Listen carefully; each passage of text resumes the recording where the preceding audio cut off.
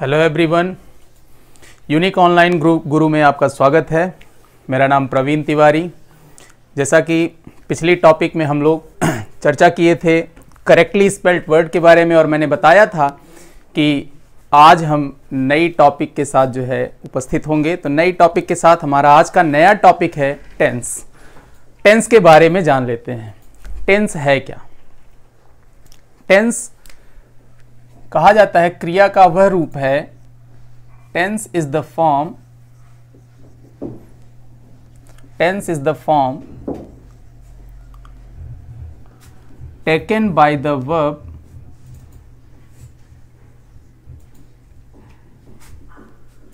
shows time of action. अर्थात tense क्रिया का वह रूप है जो कार्य के समय को दर्शाता है। तो कार्य के समय को दर्शाने का मतलब टाइम ऑफ़ अगर कार्य का समय क्या होता है, जैसे कोई भी वाक्य लिखा है, उसमें अगर कार्य के होने का समय है, अगर कार्य के बारे में किस समय में कौन सा कार्य हुआ तो समझिए वह टेंस है। टाइम और टेंस में यही अंतर होता है। टाइम क्या होता है और टेंस क्या होता है? टाइम का मतलब यह है कि उसमें कार्य नहीं होता। और टेंस का मतलब होता है, उसमें कार्य होता है। टाइम और टेंस में अंतर जैसे मान लीजिए, हम ये कह दें आई एम अ टीचर तो ये प्रेजेंट टाइम है। इसको हम प्रेजेंट टाइम कहते हैं, न कि इसको हम टेंस कहेंगे। ये टेंस नहीं है, बल्कि ये प्रेजेंट टाइम है। और अगर हम कह दें टेंस क्या है?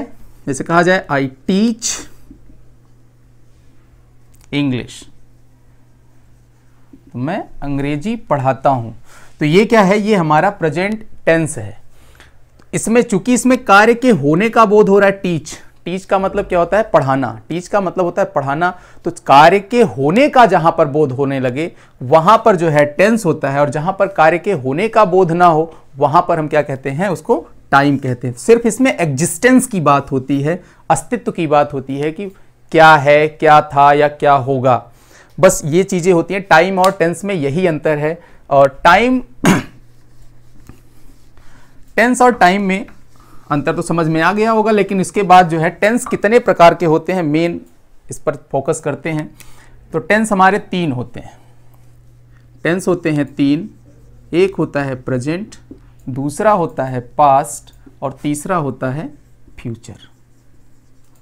समझना बहुत आसान है। याद रखेंगे, प्रेजेंट क्या होता है? जो है। जो है, वो क्या है? वर्तमान है। और जो था, वो क्या था? पास्ट था। और जो होगा, वो क्या होगा? फ्यूचर होगा। तो जो है प्रेजेंट है, जो था, पास्ट था और जो होगा वो फ्यूचर होगा। एक एक अक्षर सबका याद कर लेते हैं पीछे से। गा, था, है। तो याद हो जाएगा, गा, था, है।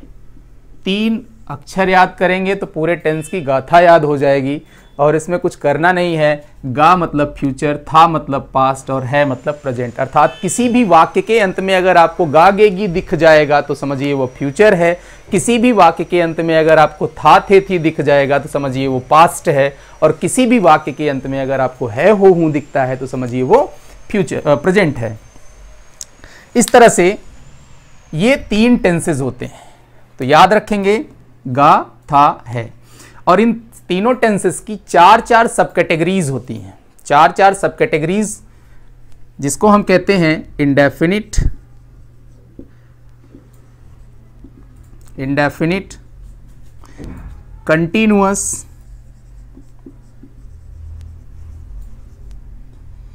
परफेक्ट और परफेक्ट कंटिन्यूअस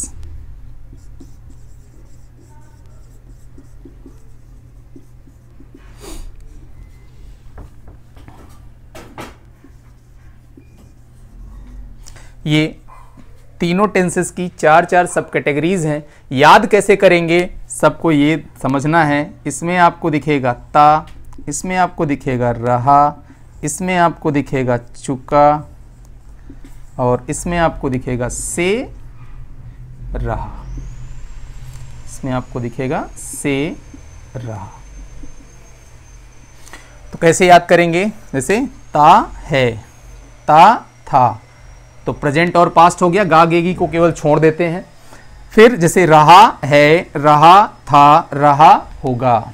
चुका है, चुका था, चुका होगा।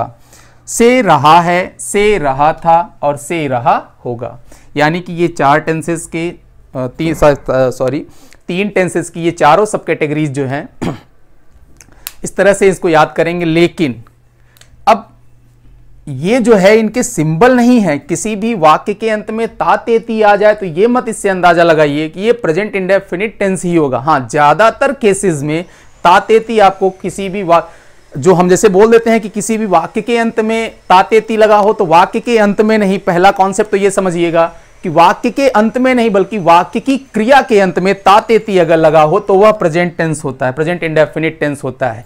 तो अगर कोई अगर कह दिया वाक्य के अंत में तो हम उसको बोल सकते हैं यह कुत्ता है यह पत्ती है तो यह क्या प्रेजेंट इंडेफिनिट टेंस होगा? नहीं होगा। तो कार्य जिसमें कार्य के होने का बोध हो, यानी कि क्रिया जब होगी, जब क्रिया होगी तो क्रिया के अंत में तातेती होगा तो वहाँ पर प्रेजेंट इंडेफिनिट टेंस होता है। दूसरी चीज़, सभी में मैंने बताया कि सभी क्रिया के अंत में तातेती लगे रहने से इसका इसका यह मतलब नहीं हो जाएगा कि ये जो है प्रेजेंट इंडेफिनिट टेंस ही है। या किसी भी वाक्य के अंत में आपको रहा रही मिल जाए तो इसका मतलब ये नहीं है कि ये केवल कंटिन्यूस टेंस है। तो बहुत सारे ऐसे कॉन्सेप्ट आपको देखने को मिलेंगे, जहाँ पर अब आएगा, रहा रही कॉन्सेप्ट में मिल जाएगा, से रहा रही आ जाएगा, चुका चुकी आ जाएगा, लेकिन वो जो है, ऐसे कॉन्सेप्ट जो है बनेंगे, लेकिन वो जो है उस पर्टिकुलर टेंस के अंतर्गत नहीं आएगा। तो एक एक टेंस पर पहले हम मतलब विशेष रूप से चर्चा करेंगे, विस्तार से चर्चा करेंगे, क्योंकि कंपटीशन देना है। एसएससी में बैंक में आप ट्रांसलेटर अगर दे रहे हो ट्रांसलेटर के लिए या कोई भी परीक्षा डीएमआरसी एलएमआरसी की कोई भी परीक्षा अगर आप दे रहे हो तो उसमें जो है ये बहुत ही इंपॉर्टेंट रोल प्ले करता है। तो इसके लिए हम जो है एक एक के बारे में विस्तार से चर्चा करेंगे, लेकिन सबसे पहले जो हमें जानना है, वो इनका परिचय जानना है। परिचय क्या है? जैसे मैंने बताया, आप इससे अंदाज़ा लगा सकते हैं कौन सा टेंस होगा। और कौन से टेंस के साथ कौन सा हेल्पिंग वर्ब आता है और कौन सा मेन वर्ब आता है, ये भी मायने रखता है। तो समझते हैं कैसे आपको याद करना है इसको। तो इंडेफिनिट कोई भी होगा, आपको उसमें V1 दिखेगा और कंटिन्यूस कोई भी होगा, उसमें आपको V4 यानी वर्ब प्लस आई फॉर्म दिखेगा और परफेक्ट टेंस कोई भी होगा, उसमें आपको V3 दिखेगा और परफेक्ट कंटिन्यूस कोई भी होगा, उसमें आपको बीन के साथ V4 दिखेगा। ठीक? तो ये एक तरीका है, कैसे जानेंगे किसी भी इंडेफिनिट किसी भी कंटिन्यूस किसी भी परफेक्ट या किसी भी परफेक्ट कंटिन्यूस टेंस में यही मेन वर्ब आने हैं। इसके अलावा कुछ नहीं आना है। पहली चीज़। दूसरी चीज़, इन सब के साथ हेल्पिंग वर्ब भी आता है। तो हेल्पिंग वर्ब याद करने का तरीका क्या है? ये समझ लीजिए। Do be have do be have के साथ क्या क्या आता है? मतलब डू डज डिड के साथ वन यानी वन मतलब first form of the verb be मतलब is am are was verb के साथ फोर्थ फॉर्म और हैव हैज़ हैड के साथ वर्ब की थर्ड फॉर्म तो do be have by one four three ये याद रखना है, किसी भी हेल्पिंग वर्ब के साथ कौन सा मेन वर्ब आना है, ये तय है। इसको हम कहते हैं हेल्पिंग वर्ब इसको कहा जाएगा हेल्पिंग वर्ब इसको कहेंगे मेन वर्ब तो do does did plus V one यानी कि यहाँ पर आपने देखा क्या है डू वी वन है, यानी कि डू डज डिड का प्रयोग इंडेफिनिट टेंस में ही किया जाएगा। यहाँ पर आपने देखा ये फोर्थ फॉर्म है तो फोर्थ फॉर्म क्या है? Is am are was were इसी में आएगा। और थर्ड फॉर्म यहाँ पर लिखा है तो यानी कि हैव हैज़ हैड इसमें आएगा। क्लियर दूसरी चीज़, ये है बीन बीन क्या होता है? ये बी का थर्ड फॉर्म होता है। बी का थर्ड फॉर्म होता है, यानी कि ये थर्ड फॉर्म है तो इसके साथ भी क्या आना है? हैव हैज़ हैड आना है। तो ये चीज़ें आपको अच्छे तरीके से समझ में आई होंगी कि हमको कौन से टेंस में किस हेल्पिंग वर्ब और किस मेन वर्ब का प्रयोग करना है। ठीक? तो ये तो सामान्य रूप से हम अच्छे तरीके से एक बार में बारह टेंसेस को अच्छे तरीके से समझ सकते हैं, जान सकते हैं। आगे बढ़ते हैं। इन सभी चीज़ों को आप ज़रूर नोट डाउन कर लीजिएगा, क्योंकि ये आपको आगे बहुत काम देने वाले हैं। ज़्यादातर लोग जो है इसमें कंफ्यूज हो जाते हैं, कैसे हम ट्रांसलेशन करें, कैसे हम जो है हेल्पिंग वर्ब का प्रयोग करें। तो इन सब चीज़ों को आपको सुधार समझना होगा, जानना होगा। तो ये इसमें बहुत ही महत्वपूर्ण भूमिका अदा करते हैं। आगे देखते हैं।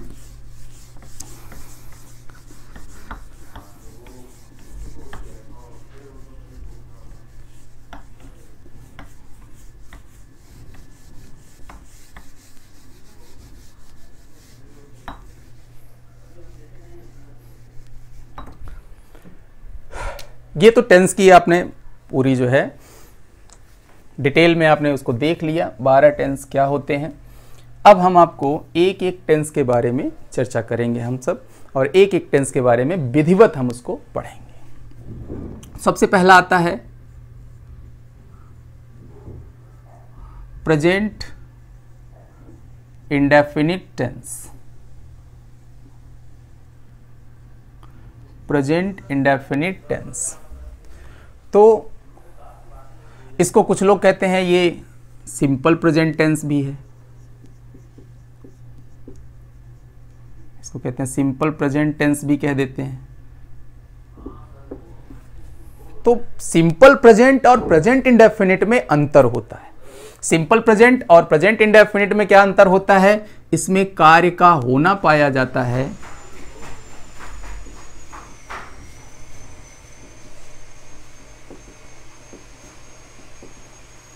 इसमें कार्य का होना पाया जाता है और इसमें केवल समय की बात होती है।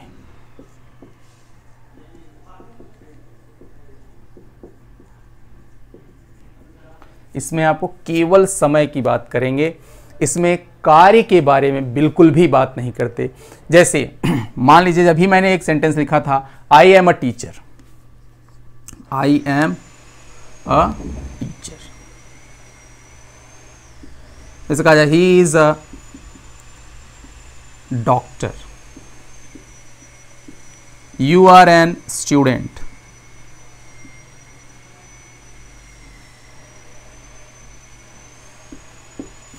तो ये तीन वाक्य लिखे गए हैं और तीनों ही वाक्यों में आप देखेंगे तो इसमें किसी में भी, किसी भी कार्य का होना नहीं, बल्कि ये इनके अस्तित्व की बात करता है प्रोफेशन की बात कर रहा है कि आई एम मैं हूँ ही इज़ वह है यू आर आप हैं। तो यहाँ पर सिर्फ़ और सिर्फ़ होना है, केवल जो है अस्तित्व की बात है एग्जिस्टेंस की बात है, दूसरा कुछ नहीं। जैसे मान लीजिए अगर आ गया I play hockey you play cricket. He teaches mathematics तीन वाक्य लिखे गए हैं। तीनों वाक्यों का अगर आप अर्थ देखें तो आई प्ले हॉकी मैं हॉकी खेलता हूँ। तो इसमें कार्य का होना है प्ले इसमें प्ले और इसमें टीच तीनों में ही जो क्रियाएँ हैं, इस, इन क्रियाओं का जो है अर्थ क्या है? जैसे खेलना और पढ़ाना। तो कार्य का होना जहाँ पर रहता है तो उसको हम कहेंगे प्रेजेंट इंडेफिनिट और जहाँ पर केवल अस्तित्व की बात होती है, वहाँ पर हम उसको कहेंगे प्रेजेंट सिंपल तो अंतर समझ में आ गया होगा। आगे देखते हैं, कैसे इनका प्रयोग किया जाता है? कैसे हम इनका सही प्रयोग करते हैं प्रेजेंट इंडेफिनिट टेंस का प्रयोग कैसे किया जाता है? परीक्षा में सबसे ज़्यादा आपसे आपसे जो क्वेश्चन किया जाता है, वो बारह टेंसेस से नहीं होते, बल्कि जो है, गिन करके चार पाँच टेंसेस से आते हैं। उन सब के बारे में आपको बताएँगे कि कौन कौन से टेंस से क्वेश्चन आते हैं एग्ज़ाम में। और किस तरह के क्वेश्चन आते हैं, ये सारी चीज़ों का हम लोग जो है डिटेल में इन सबको पढ़ेंगे। तो ये प्रेजेंट इंडेफिनिट टेंस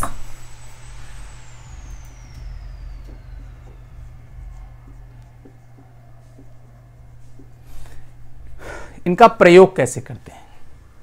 तो ये पहली चीज़ तो ये जानना है, इनका प्रयोग होता है जो चीज़ें, जैसे यूनिवर्सल क्या हो? फैक्ट हो। यूनिवर्सल फैक्ट हो साइंटिफिक फैक्ट हो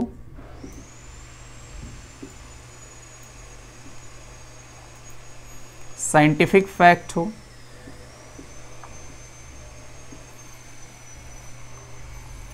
प्रोवर्ब्स जितने भी बोले जाते हैं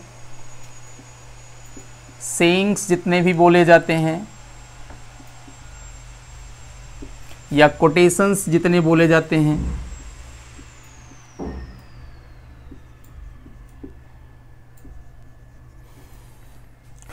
इन सभी को प्रेजेंट इंडेफिनिट टेंस में ही रखा जाता है, इससे हट करके नहीं रखा जाता।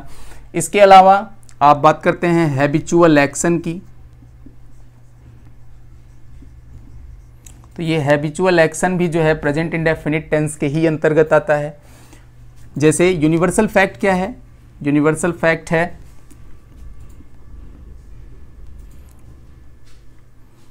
the earth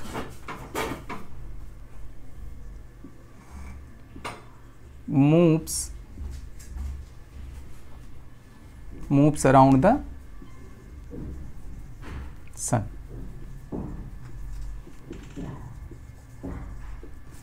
ये फिक्स है और ये कभी भी इसको दूसरे टेंस में नहीं लिखा जा सकता। Earth moves around the sun यानी कि पृथ्वी सूर्य का चक्कर लगाती है और ये तय है, लगाती थी, लगाती है, लगाती रहेगी। ये कभी भी बदल नहीं सकता, यानी कि ये यूनिवर्सल फैक्ट है, ये साइंटिफिक फैक्ट है, ये तय है। इसी तरह से जैसे हम प्रोवर्ब बोलते हैं, किसी भी जब, मुहावरे की जब बात करते हैं प्रोवर्ब मतलब मुहावरा होता है सेइंग मतलब कहावत और कोटेशन मतलब कथन होता है। और हैबिचुअल एक्शन आदतन कार्य जिसको हम कहते हैं हिंदी में। तो प्रोवर्ब जैसे मान लीजिए हम कह दिए every potter praises his pot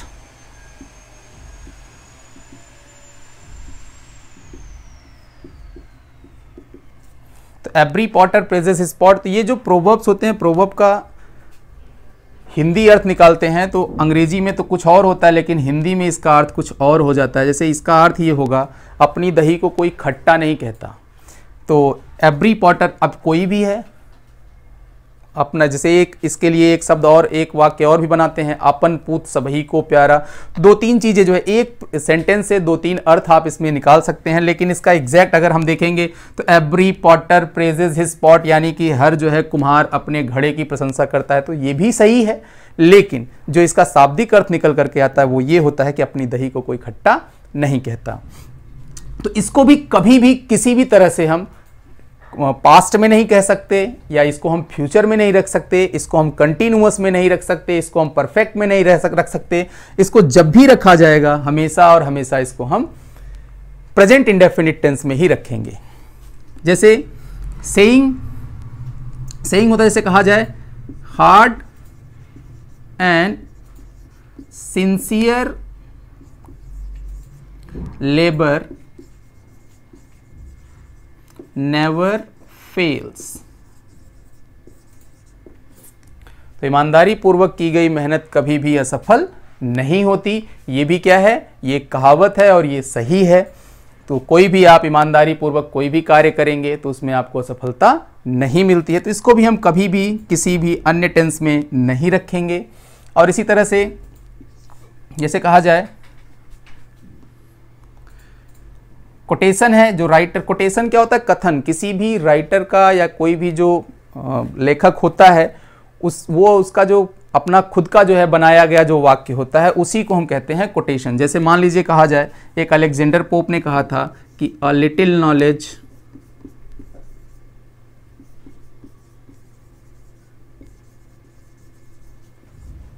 is a dangerous thing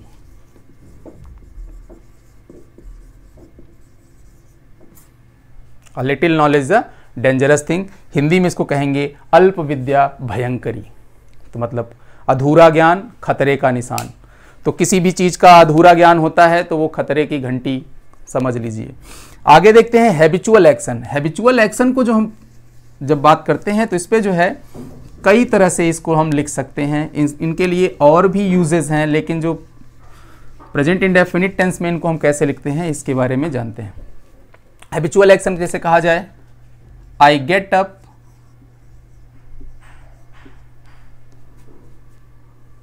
early in the morning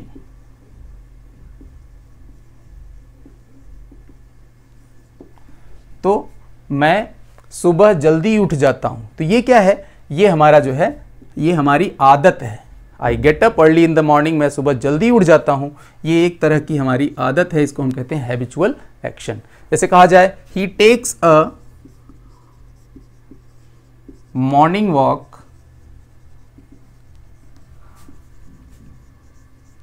every day वह प्रतिदिन सुबह टहलने जाता है। तो ये भी उसकी आदत है, वो जो है प्रतिदिन टहलने जाता है। आदतन कार्य को दर्शाने के लिए केवल प्रेजेंट इंडेफिनिट टेंस का ही प्रयोग नहीं, बल्कि और भी तरीके से इनको हम व्यक्त कर सकते हैं। जैसे आप अक्सर जो है यूज़ टू का प्रयोग देखते होंगे कस्टम टू का प्रयोग देखते होंगे हैबिचुएटेड टू का प्रयोग देखते होंगे। तो इन सब में जो है इनका एक प्रयोग है, जिससे हम हैबिचुअल एक्शन को और भी व्यक्त कर सकते हैं। तो आदतन कार्य को दर्शाने के लिए हम इज़ एम आर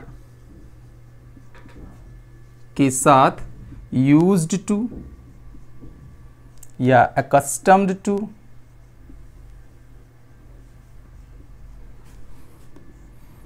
या एडिक्टेड टू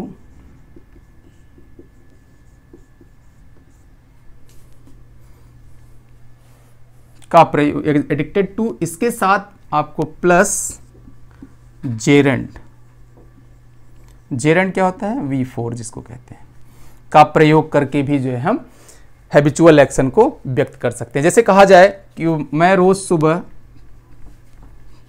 टहलने जाया करता हूँ तो I am use to going for a every morning.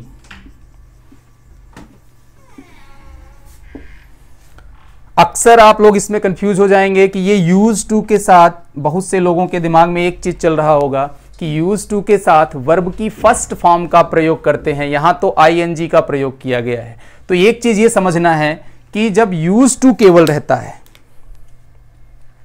Use to केवल रहता है तो उसके साथ V1 का प्रयोग करते हैं। यूज़ टू के साथ V1 का प्रयोग करते हैं और तब ये क्या दर्शाता है, तब ये पास टाइम की डिसकंटिन्यूड हैबिट को दर्शाता है। जैसे कहा जाए कि वह सिगरेट पिया करता था तो ही यूज़ टू स्मोक यानी कि सिगरेट पिया करता था, अब नहीं पीता है। लेकिन जब इज़ एम आर के साथ यूज़ टू आता है तो इसके साथ जेरेंड आता है। और जेरेंड आएगा तो ये क्या दर्शाता है? ये प्रेजेंट टाइम की आदत को दर्शाता है। तो प्रेजेंट टाइम की आदत को दर्शाने के लिए इज़ एम आर के साथ यूज़ टू का आना ज़रूरी है। केवल यूज़ टू अगर रहेगा तो उसके साथ वी वन का प्रयोग करेंगे, यानी इन्फिनेटिव विद टू का प्रयोग करते हैं। यूज़ के साथ इन्फिनेटिव विद टू का ही प्रयोग किया जाता है। तो ध्यान में ये रखना है। इसमें कंफ्यूज नहीं होना है। ज़्यादातर लोग 99 परसेंट लोग बस यही इतना जानते हैं कि यूज़ टू के साथ हमेशा वर्ब की फ़र्स्ट फॉर्म का प्रयोग किया जाता है। और ये एग्ज़ाम में इस तरह से क्वेश्चन भी आ जाते हैं जहाँ पर जो है लोग गलत कर जाते हैं। पता नहीं होता तो वहाँ पर जो है मिस्टेक हो ही जाती है। इसी तरह से अकस्टम टू और एडिक्टेड टू तो एक चीज़ ये जानना है कि यूज़ टू का हम प्रयोग कैसे करते हैं अकस्टम टू का प्रयोग कैसे करते हैं और एडिक्टेड टू का। ये यूज़ टू की जो यूज़ टू का जो प्रयोग होता है, ये गुड या बैड हैबिट दोनों के लिए जो है, हम इसका प्रयोग कर सकते हैं। गुड या बैड हैबिट के लिए होता है। अकस्टम टू का प्रयोग गुड हैबिट के लिए ही किया जाता है। इसका प्रयोग बैड हैबिट के लिए नहीं करते। और एडिक्टेड टू का प्रयोग हमेशा बैड हैबिट के लिए किया जाता है। गुड हैबिट के लिए इसका प्रयोग नहीं किया जाता। जैसे, हम कह दें he is addicted to smoking तो ये क्या है उसकी? बैड हैबिट है तो इसलिए हम इसको यूज़ करेंगे। He is addicted to addicted to का प्रयोग कहाँ करेंगे? बैड हैबिट के लिए करेंगे। ठीक? जैसे कहा जाए, मैं तैरा करता हूँ तो I am accustom to swimming मैं तैरा करता हूँ। तो यहाँ पर देखिए, ये गुड हैबिट है। तैराकी जो है एक अच्छी आदत है, इसलिए हम यहाँ पर यूज़ करेंगे। अकस्टम टू और स्मोकिंग जो है बैड हैबिट है, इसलिए हम यूज़ करेंगे यहाँ पर एडिक्टेड टू लेकिन इन दोनों के स्थान पर हम एडिक्टेड टू और अकस्टम टू के स्थान पर हम चाहें तो यूज़ टू का प्रयोग कर सकते हैं। तो यूज़ टू का भी प्रयोग किया जा सकता है। तो ये हमारी आदत की बात हो गई। कैसे कैसे जो है आदत को हम व्यक्त करने के लिए कितने तरह से वाक्य को लिख सकते हैं। अगली बात आती है कि इनका प्रयोग और कहाँ करते हैं। तो इनका प्रयोग जो स्टोरी होती है पास टाइम की स्टोरी को जब हम नरेट करते हैं तो उस समय भी हम प्रेजेंट इंडेफिनिट टेंस का ही प्रयोग करते हैं, तब फिर पास्ट टेंस का प्रयोग नहीं किया जाता वहाँ पर। तो जैसे कहने का मतलब ये है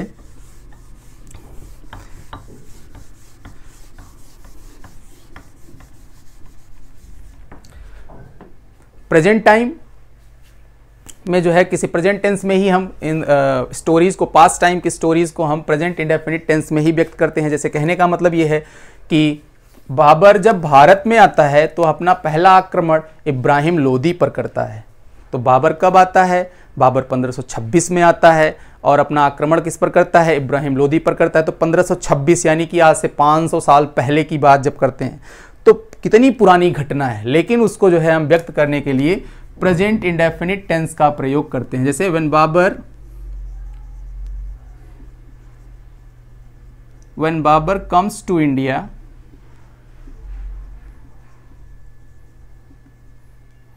he first attacks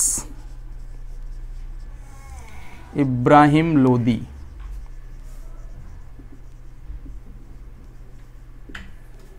तो पास्ट टाइम की स्टोरीज हैं पास्ट टाइम की जो घटनाएँ होती हैं, उनको हम प्रेजेंट इंडेफिनिट टेंस में व्यक्त करते हैं। एक चीज़ यहाँ पर आपको ये ध्यान में रखना है, जैसे अटैक है तो अटैक के साथ किसी भी प्रेपोजिशन का प्रयोग नहीं करते। एक चीज़ यहाँ पर आपको नोट करने लायक है। अटैक के साथ किसी भी प्रेपोजिशन का प्रयोग नहीं करते। तो यहाँ पर अटैक्स यहाँ पर ऑन लिखा जा सकता था, लेकिन ऑन का प्रयोग नहीं करेंगे, क्योंकि अटैक अपने साथ किसी भी प्रेपोजिशन को नहीं लेता। तो ये पास टाइम की स्टोरी हो गई। न्यूज़पेपर की हेडिंग्स न्यूज़पेपर की हेडिंग्स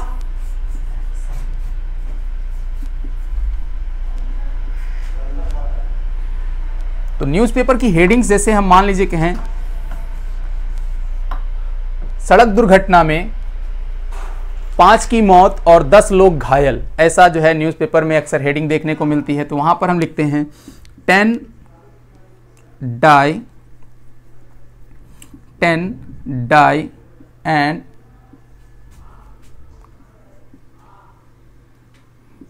5 injure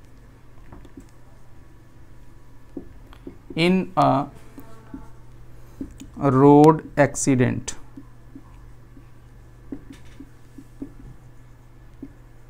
सड़क दुर्घटना में 10 की मौत और 5 घायल। तो एक चीज़ ये, इसमें ये ध्यान में रखना है कि जो भी न्यूज़पेपर की हेडिंग होती है तो न्यूज़पेपर की हेडिंग का पहला लेटर जो भी जितने भी वर्ड्स रहते हैं, उसके पहले लेटर को हम कैपिटल लेटर में लिखते हैं, केवल कंजंक्शन प्रपोजिशन और आर्टिकल को छोड़ करके।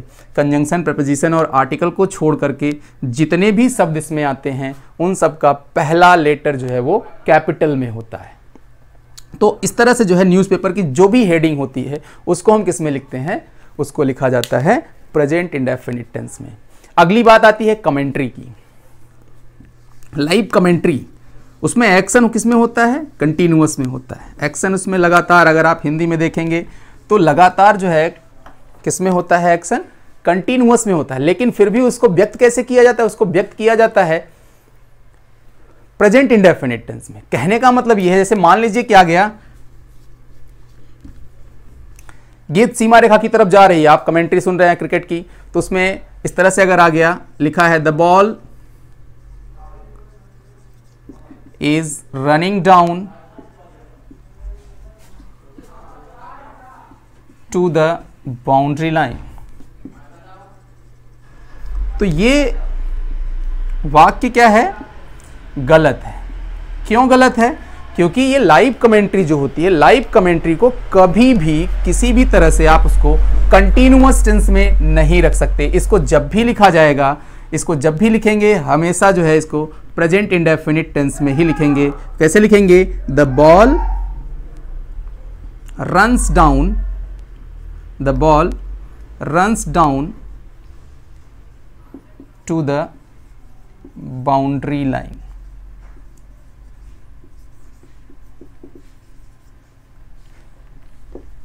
तो इस तरह से जो है हम न्यूज़पेपर की सॉरी लाइव कमेंट्री को भी हम प्रेजेंट इंडेफिनिट टेंस में ही रखते हैं। जैसे हमने कहा, गेंदबाज ने दौड़ना शुरू किया तो कैसे लिखेंगे?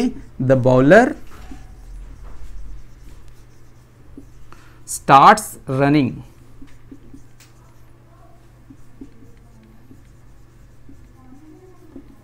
तो यहाँ पर भी देखेंगे, ये लिखा है स्टार्ट्स गेंदबाज ने दौड़ना शुरू किया, इसका अगर देखेंगे, अर्थ निकालेंगे तो हो जाएगा, द बॉलर स्टार्टेड रनिंग लेकिन नहीं, इसको जो है हम लिखेंगे, प्रेजेंट इंडेफिनिट टेंस में।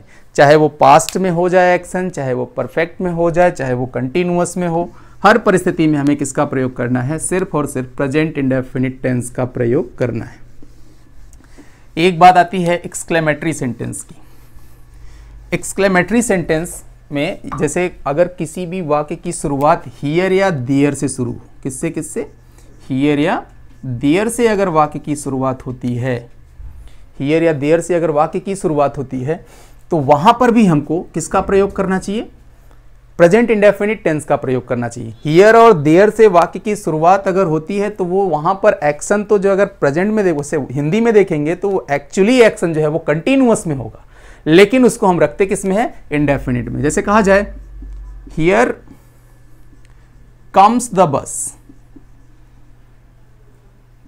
here comes the bus यहाँ पर नोट ऑफ़ एक्सक्लेमेशन लगाना ज़रूरी है। जैसे इसमें ऐसा होता क्या है कि आप खड़े हों, एकदम चिलचिलाती धूप में, और बस का इंतज़ार कर रहे हों। तीन चार लोग जो है आपके साथ जो है और भी खड़े हों, बस ना आ रही हो तो उस परिस्थिति में अचानक दूर से जब बस दिख जाती है तो वहाँ पर जो है भाव निकलता है, अचानक सडन फीलिंग जो होती है मतलब तो वो बस आ रही है। तो ये अंग्रेज़ी में इसको जो है हम व्यक्त करते हैं तो इसको अंग्रेज़ी में जो है ईयर कम्स द बस से व्यक्त करेंगे। जैसे कहा जाए देर he goes there he goes तो इसका अर्थ अगर देखेंगे तो ही इज़ गोइंग देयर और इसका अर्थ ये होगा the bus is coming here लेकिन जब ये पहले जब इन्वर्जन कर देते हैं तो वहाँ पर क्या होता है? हियर देयर जब पहले आ जाता है तो ये वाक्य जो है इंडेफिनिट टेंस में परिवर्तित हो जाता दूसरी चीज़ इसमें एक जो समझने लायक है, उसमें यह है कि अगर वर्ब प्लस नाउन रहता है एक्सक्लेमेटरी सेंटेंस में अगर नाउन सब्जेक्ट के रूप में होता है तो उसे कहाँ रखेंगे? उसे रखेंगे मेन वर्ब के बाद। अगर सब्जेक्ट के रूप में प्रनाउन होता है। सब्जेक्ट के रूप में प्रनाउन होता है तो उसे कहाँ रखेंगे? मेन वर्ब से पहले। दो चीज़ें दिमाग में रखना है। नाउन अगर होगा मेन वर्ब से उसमें सब्जेक्ट के रूप में तो उसको हम कहाँ रखेंगे? मेन वर्ब के बाद रखेंगे। और अगर सब्जेक्ट के रूप में प्रनाउन होगा तो उसे हम मेन वर्ब से पहले रखेंगे। जैसा कि वाक्य में आप देख सकते हैं, ये कम्स क्या है? मेन वर्ब है और इसके बाद क्या आया है? नाउन। तो यानी कि वर्ब के बाद क्या आएगा? वर्ब के बाद आएगा नाउन और वर्ब से पहले क्या आएगा? प्रनाउन। तो कॉन्सेप्ट समझ में आ गया होगा अच्छे तरीके से। तो ये तो कहाँ कहाँ किया जाता है इनका प्रयोग? कैसे कैसे हम इनका प्रयोग करते हैं, ये तो प्रेजेंट इंडेफिनिट टेंस के बारे में हो गया। अब इनके बारे में एग्ज़ाम के व्यू पॉइंट से देखेंगे, कैसे जो है परीक्षा में किस तरह के प्रश्न आते हैं।